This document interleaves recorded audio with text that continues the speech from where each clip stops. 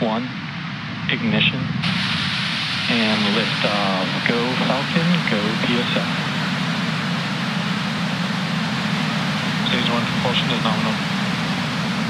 Vehicle is pitching downrange.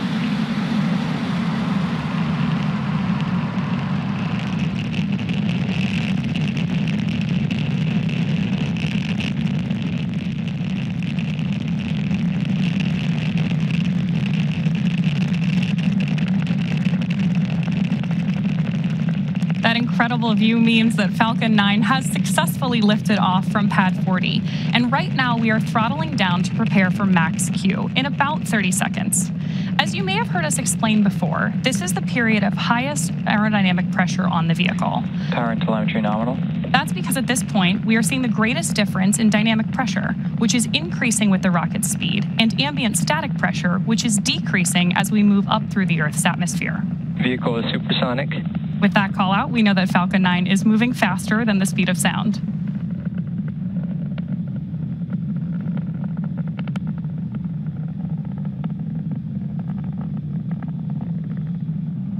Max Q.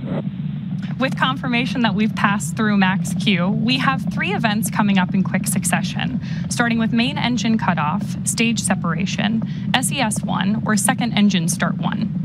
Main engine cutoff, or MECO for short, is where all nine Merlin 1D engines will shut off to slow down the vehicle in preparation for the next event, stage separation, or stage, stage sep for short. That's where the first stage booster will separate from the second stage. Right after stage sep, the first stage will start its journey back to Earth, targeting, targeting a landing on our drone ship, a shortfall of Gravitas, which is currently stationed in the Atlantic Ocean, about 680 kilometers downrange. Now, during that time, Stage 2 will continue on its journey to space with the third event, Second Engine Start 1, or SES 1 on the nets. And this is where the single MVAC engine will ignite to propel the second stage along with the PSN Satria pa- payload to orbit. In addition to these three major events, the fairing halves will also separate less than a minute after SES 1, so keep an eye out for all of those coming up in about 10 seconds.